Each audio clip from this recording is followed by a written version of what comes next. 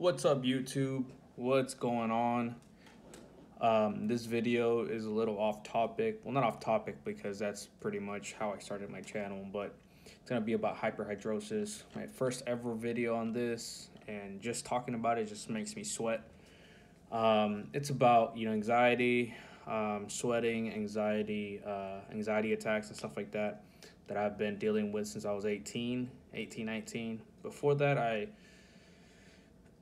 honestly I could tell you I was the most confident person ever. I didn't know what being anxious was. I don't know about I didn't I didn't know about what anxiety was. I would you know peep or uh, think people were crazy about you know thinking about anxiety or what they're anxious for, why they're nervous, stuff like that. I would get onto my sister because every time she would get nervous, she would tell me, and you know she would be like shaking and stuff like that. Well, not shaking, but you know very noticeably nervous.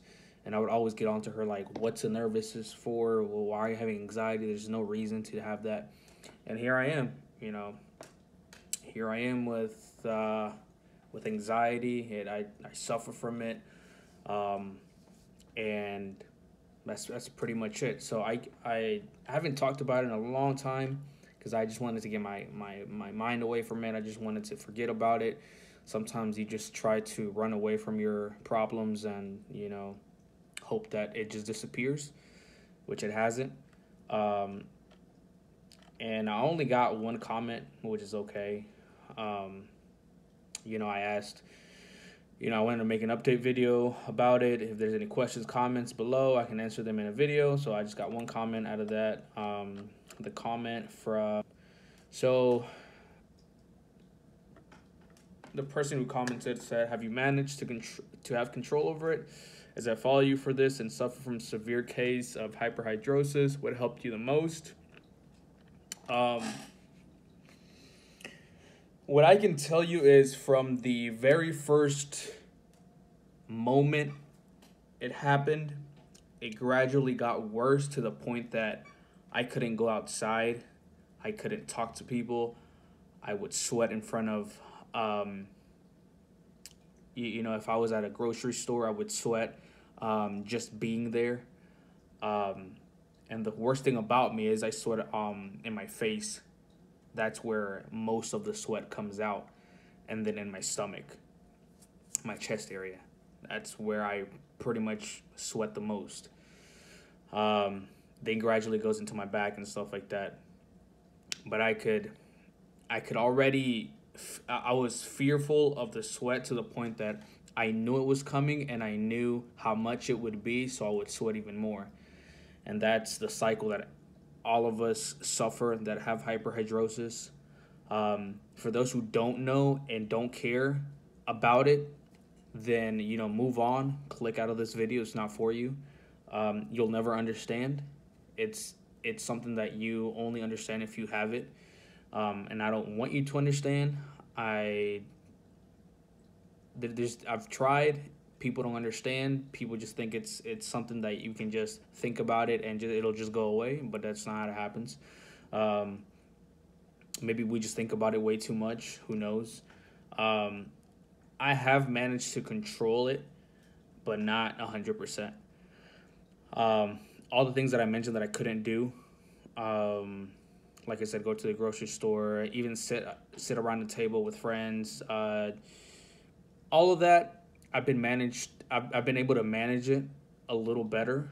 Um, now I can go to the grocery store. Now I can stand in a line. Now I can you know order food. Now I can um, you know speak up in a meeting and stuff like that. Now I can do a lot of the things. But am I still anxious? Yes. Am I am I still thinking about sweating? Yes. Am I still uh, having uh, depressing thoughts, yes.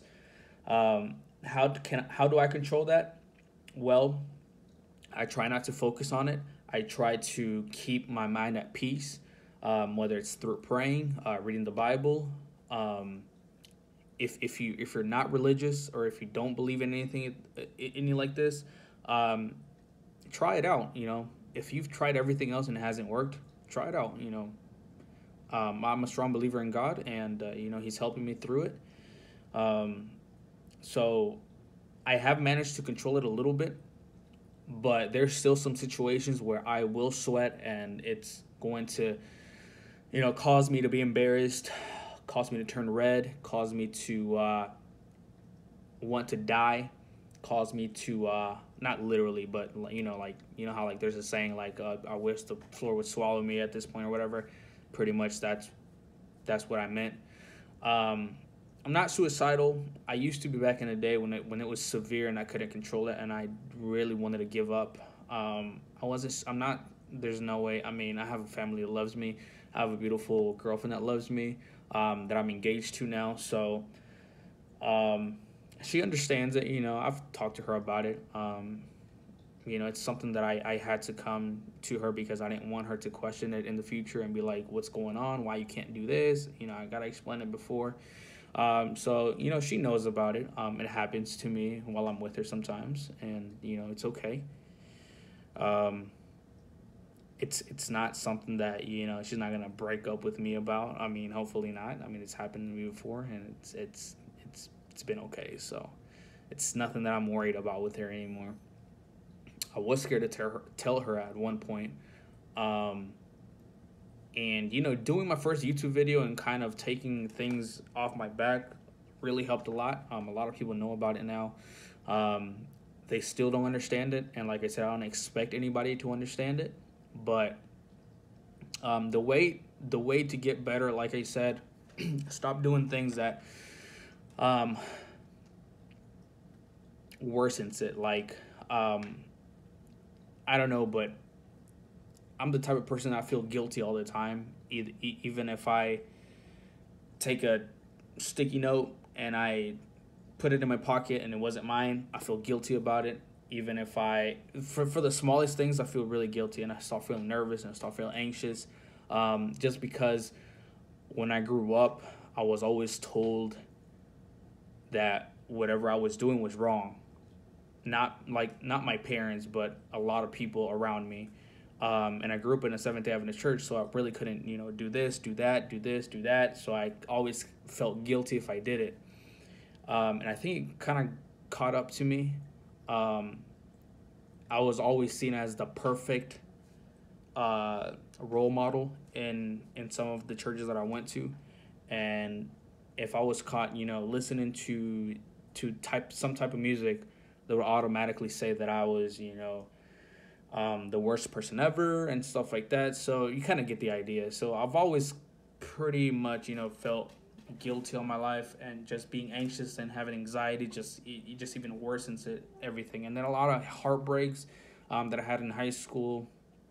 Not a lot of heartbreaks. I it's not that I had like so many girlfriends. I okay.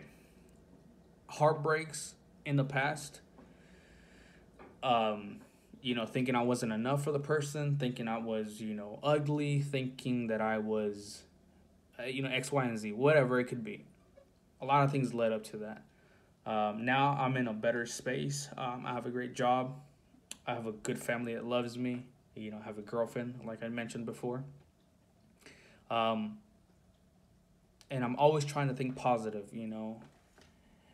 Something that will always be in my mind is is hyperhidrosis isn't something deadly that I'm gonna die um, of. It's something that I can manage. It's not something that I can control. It's not something that I.